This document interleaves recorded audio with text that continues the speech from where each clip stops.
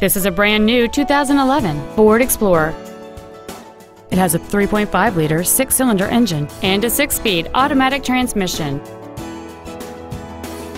Its top features include power adjustable driver pedals, heated front seats, traction control and stability control systems, a 12 speaker audio system, 20 inch wheels, and satellite radio. The following features are also included memory settings for the seat's positions so you can recall your favorite alignment with the push of one button, heater vents for rear seated passengers, cruise control, leather seats, a rear spoiler, a security system, 12 volt power outlets, disc brakes with an anti-lock braking system, an auto-dimming rearview mirror, and roof rails. Contact us today to schedule your opportunity to see this automobile in person. Ted Britt Ford Sales is dedicated to doing everything possible to ensure that the experience you have selecting your next vehicle is as pleasant as possible.